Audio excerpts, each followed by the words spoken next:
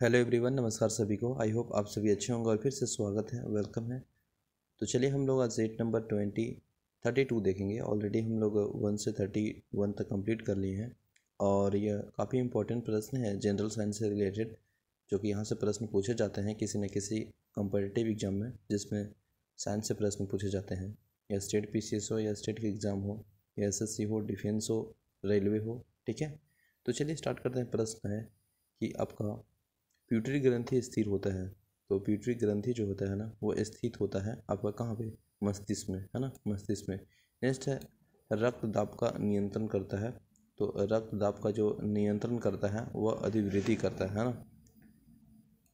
Next प्रश्न है मानव शरीर में सर्वाधिक शक्तिशाली पेशी है तो मानव शरीर में सबसे आ, अगर सर्वशक्ताली सर्वाधिक शक्तिशाली अगर पेशी की बात करेंगे तो वह जबड़ा है क्योंकि जबड़ा है ना वह सर्वाधिक शक्तिशाली पेशी है पूरे बॉडी में, ठीक है ना? नेक्स्ट है आयरिस का कार्य है। तो आयरिस का जो कार्य है वर्क है, वो पुतली के आकार को नियंत्रण करना कंट्रोल करना कार्य करता है आयरिस नेक्स्ट है, त्वचा का रंग किसके कारण होता है? तो त्वचा का रंग है ना वह मेलानिन के कारण होता है। त्वचा में जो आप देखे होंगे, त्वचा का रंग गोरापन, कालापन तो मेलानिन पे डिपेंड पड़ता है। जो कि त्वचा से रिलेटेड आप ये भी सुने होंगे डर्मोलॉजिस्ट, जो कि त्वचा से रिलेटेड डॉक्टर को डर्मोलॉजिस्ट बोलते हैं। तो जो गोरापन होता है, कालापन होता है, वो डिपेंड करता है मेलानिन पे, ठीक है ना? नेक्स्ट है, मानव शरीर का सबसे बड़ा अंग। तो मानव शरीर का सबसे बड़ा अंग है वह त्वचा ही है है ना? त्वचा यानी स्किन ठीक है?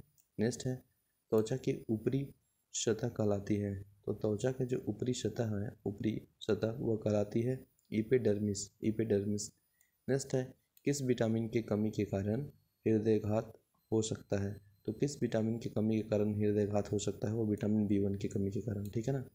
नेक्स्ट है, विद्युत धारा किससे मापी जाती है? तो विद्युत धारा है ना वह आमीटर से मापी जाती है, ठीक है ना? नेक्स्ट है, एक स्वस्थ मनुष्य में शरीर का ताप कितना होता है? तो एक स्वस्थ मनुष्य में अगर शरीर का ताप टेम्परेचर देखेंगे, स्वस्थ में तो सैंतीस डिग्री सेंटीग्रेड होता है। नेक्स्ट है कंप्यूटर वायरस होता है एक सॉफ्टवेयर प्रोग्राम, है ना? कंप्यूटर वायरस जो होता है, वह एक सॉफ्टवेयर प्रोग्राम होता है।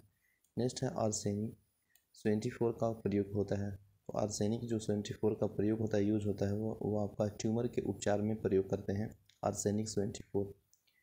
नेक्स्ट प्रश्न है, रेफ्रिजरेटर में थर्मोस्टेट का क्या कार्य है? तो रेफ्रिजरेटर में जो थर्मोस्टेट का वर्क है, फ़ंक्शन है, वह एक समान ताप को बनाए रखना कॉन्स्टेंट रूप में, है ना? रेफ्रिजरेटर में थर्मोस्टेट जो होता है, वह एक समान तापमान, एक समान टेम्परेचर को बनाए रखता है। ठीक है? नेक्स्ट है हाइड्रोकार्बन विजन 2025 किससे संबंधित है? किससे रिलेटेड है? तो यह ग्रीन हाउस प्रभाव से संबंधित है है ना? कार्बन हाइड्रोकार्बन विजन 2025 किससे संबंधित है? तो ग्रीन हाउस प्रभाव से। नेक्स्ट है डॉप्सन इकाई का प्रयोग किस लिए किया जाता है? डॉप्सन इकाई का जो प्रयोग है ना यूज़ है ना, वो करते हैं ओजन परत को मोटाई मापने के लिए मेज़रमेंट करने के लिए कि ओजन परत की मोटाई कितनी है। तो वहाँ डॉप्सन इकाई का यूज़ करते हैं, इस्तेमाल करते हैं, है ना? नेक्स्ट प्रश्न है, जल के बहाव को किसमें मापा जाता है? तो जल के बहाव को है ना, वह क्यूसेक में मापा जाता है कि जल का जो फ्लो है, बहाव है, वह कितना है? तो वह क्यूसेक के माध्यम से मापते हैं, ठीक है ना? मेज़रमेंट करते हैं। सबसे कठोर धातु तो सबसे कठोर धातु आपका प्लेटिनम है।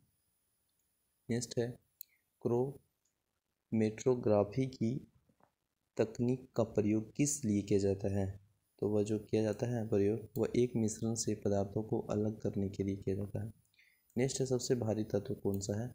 तो अश्मियम है ना? सबसे भारी धातु कौन है? सबसे भारी, सबसे कठोर, अगर अभी हम लोग देखें तो सबसे कठोर धातु तो कौन था? प्लेटिनम लेकिन यहाँ पूछ रहा है कि सबसे भारी तत्व कौन सा है? तो वह ओस्मियम है, ठीक है ना? मोती के मुख्य अवयव है तो यह मोती का जो मुख्य अवयव है, वो आपका है एरागोनाइट और कांचियोलिन। यह मोती का मुख्य अवयव है। तो आई होप ये छोटे से वीडियो में हम लोग काफ़ी इंपॉर्टेंट प्रश्न को देखें, जो कि आपको सेशन अच्छा लगा होगा। और आई होप ये आप चैनल में नए हैं तो आप चैनल को सब्सक्राइब करें, है ना? तो मिलते हैं नेक्स्ट वीडियो में तब तक के लिए बने रहें जय हिंद।